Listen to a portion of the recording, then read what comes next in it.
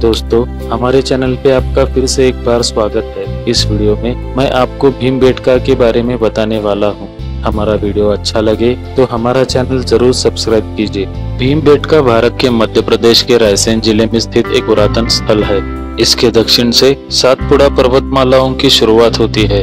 जुलाई 2003 में यूनेस्को ने इसे विश्व धरोहर स्थल घोषित किया है। इस जगह की खोज सन उन्नीस सौ सत्तावन में डॉक्टर विष्णु श्रीधर वाकणकर द्वारा की गई थी। इस जगह का निर्माण होमो इरेक्टस द्वारा एक लाख साल पहले किया गया था। भीम बेटका में पाई जाने वाली एक कलाकृतियाँ तो तकरीबन तीस हज़ार साल पुरानी है। इन चित्रों को पूरा पाषाण काल से मध्य पाषाण काल के समय का माना जाता है।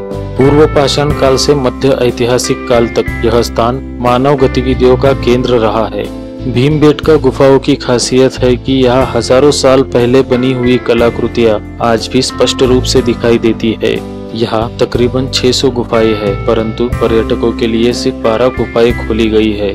यहाँ प्राचीन किले की दीवार लघु स्तूप पाषाण निर्मित भवन शुंगगुप्त कालीन अभिलेख, शंख अभिलेख और परमार कालीन मंदिर के अवशेष भी मिले हैं। यह जगह आदिवानों द्वारा बनाए गए शैल चित्र और शैलाश्रयों के लिए प्रसिद्ध है।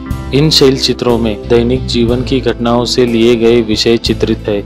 यहाँ बनाए गए चित्र मुख्यतः नृत्य, संगीत, आखेट, घोड़ों और हाथियों की सवारी, आभूषणों और शहद जमा करने के बारे में है। इनके अलावा बाघ, सिंह, जंगली सुअर, हाथियों, कुत्तों और घड़ियालों जैसे जानवरों को भी इन तस्वीरों में चित्रित किया गया है। इन चित्रों को बनाने के लिए गेरुआ, लाल, सफ़ेद जैसे खनिज रंगों का इस्तेमाल किया गया है और कहीं कहीं पीला और हरा रंग का भी प्रयोग हुआ है।